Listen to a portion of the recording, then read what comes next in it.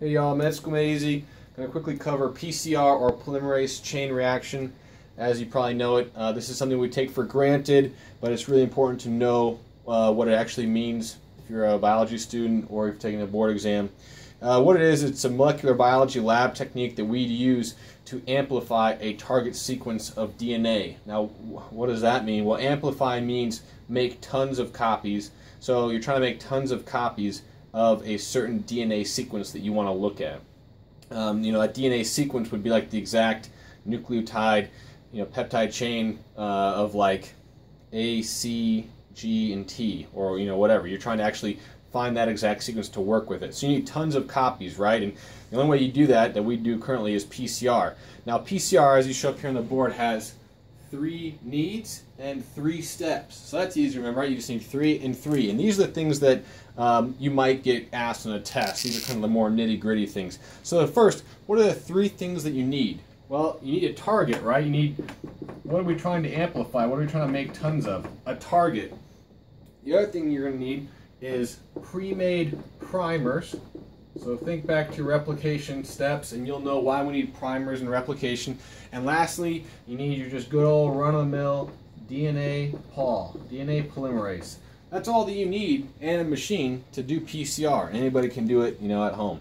Um, so the three steps that you need to do for PCR, this is this is where if you're taking a medical board exam, this is the question they'll ask you is these three steps. The first one is going to be denaturation. And what does that mean?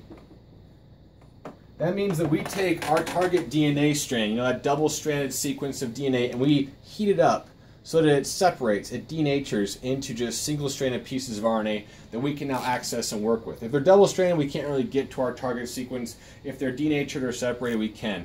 The second thing, the fancy name for it is anneal. Anneal is kind of like heal. And what does that mean is, you know, now we have these accessible single-stranded pieces of DNA. We now anneal our pre-made primers onto the target sequence. You know, now we're accessing this accessible target. So we're actually locating and attaching to the piece of DNA that we need. And the third thing, we use our DNA polymerase.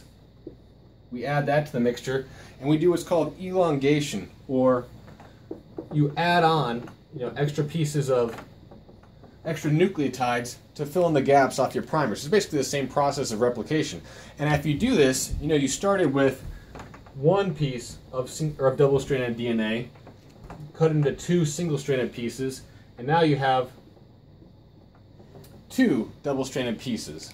I'll draw a little squiggly line here so that you know that they're separated. It's not pretty, but you get what it means. And so if you did this process countless times, you know, if you start with just one target strand, after the first revolution you'd have two, and then after that you'd have four, and after that you have eight. You can imagine if we did this thousands of times, how many pieces of target strand DNA you'd have to work with. You just have clumps of it in there.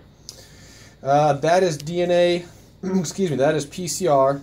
Uh, you need three things, three steps. Boards will ask you about these three steps, probably about their chronological order.